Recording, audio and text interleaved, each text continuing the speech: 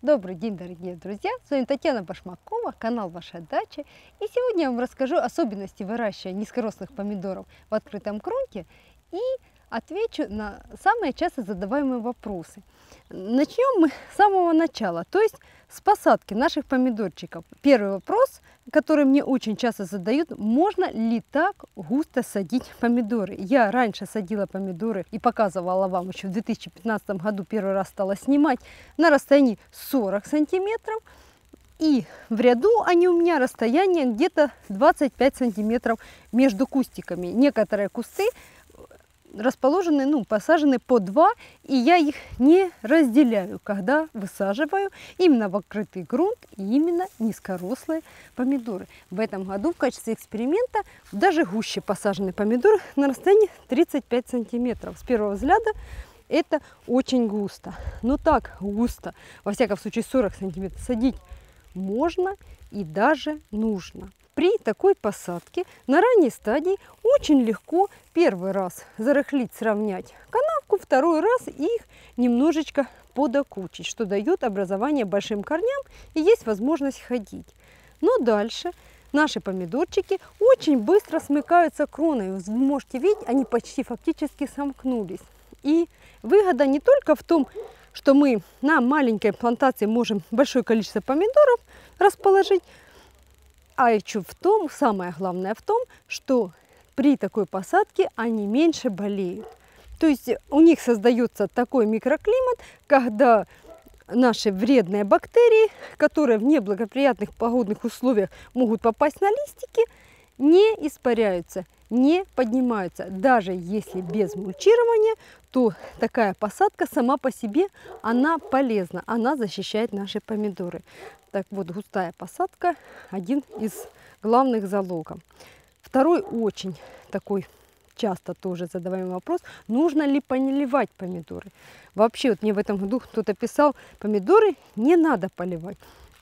Помидоры поливать нужно, нужно их поливать регулярно.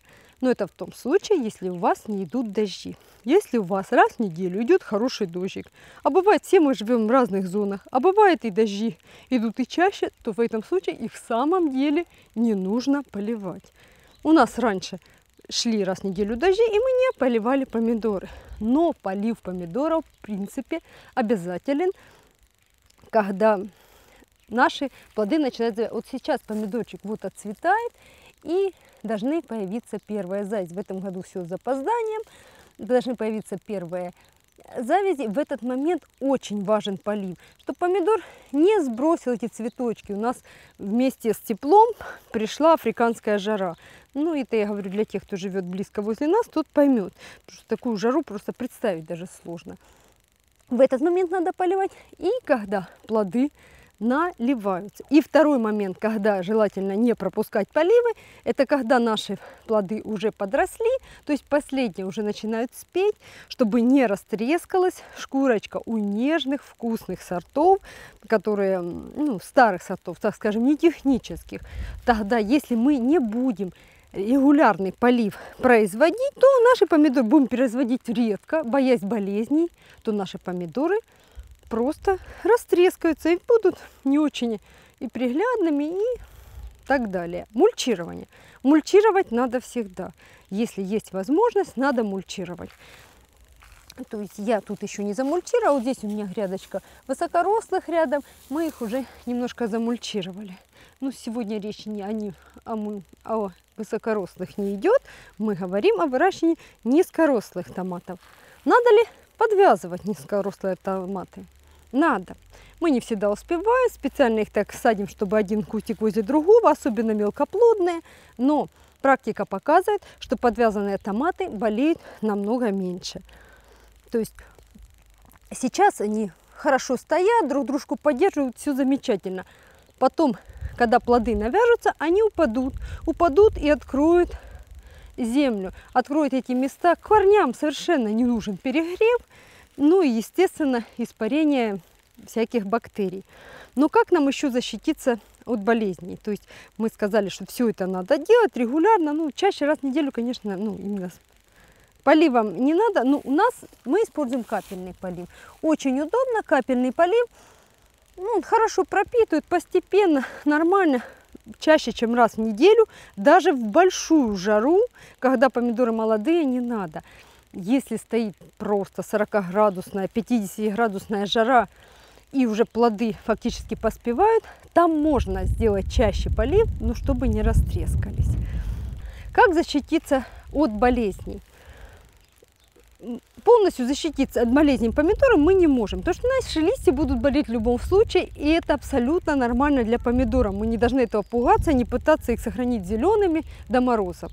Поэтому тут уж как повезет с погодой, но чтобы получить урожай, урожай, некрасивые листья нас не тревожат.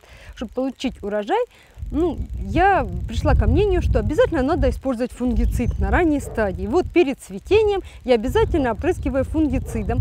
Причем фунгицид это старалась брать системный. Раньше я вот много лет использовала квадрис, очень хорошо помогала, помидоры не болели. Дальше уже народные средства, сыворотка, ну, всякие народные средства, сейчас мы их перечислять не будем. В этом году опрыскали акробатом, э, квадрис сильно подорожал, и мы в этом году акробатом обработали помидоры, купили протон. Если погода будет неблагоприятная, можно второй раз опрыскать. Но вот сейчас, пока они еще цветут, то есть вот на этой стадии профилактические обрызгивания, они должны защитить. Потом, когда помидоры уже вяжутся, мы не опрыскиваем никакими химическими препаратами, чтобы, ну, чтобы не навредить нашему здоровью.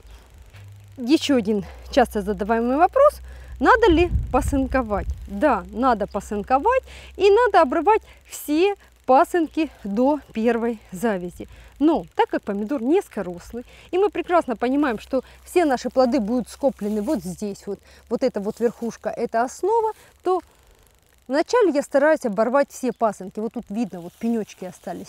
То есть обрываем все пасынки, даем возможность первым кистям зацвести. Если кто-то очень большой, тут уже помидорчик завязался, Дальше это уже не принципиально, потому что вот уже вот вырос пасынок, пропущенный, но уже эта кисть будет вязаться, эта кисть уже будет вязаться, она уже большая, не принципиально. В дальнейшем вы можете не регулировать рост вот этих вот цветочков, потому что вдруг вспышка болезни, которая от нас не зависит, она связана с погодой, как, ну, на погоду мы повлиять не можем, поэтому эти цветы могут, может даже испортить погода даже и после опрыскивания.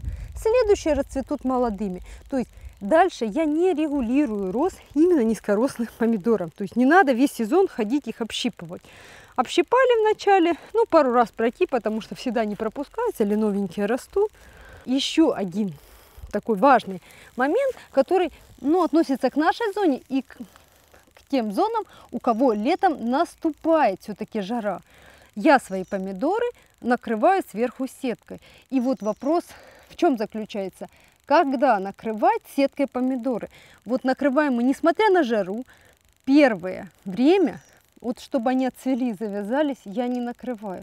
Им нужно много света, много тепла, и они спокойно это переносят. Вот когда они начнут уже вязаться, хорошо будут висеть на них помидорчики, мы натянем сетку. Затеняющую сетку, помидорам не надо сильно затеняющая сетка, то есть достаточно затенения 40%.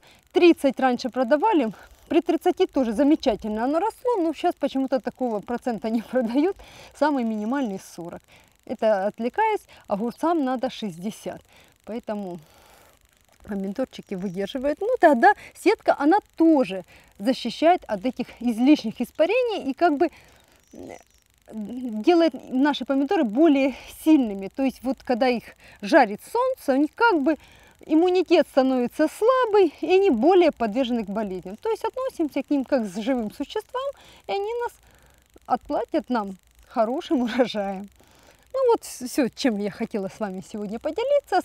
Оставайтесь с нашим каналом, будем и дальше продолжать э, ухаживать за разными растениями. До новых встреч!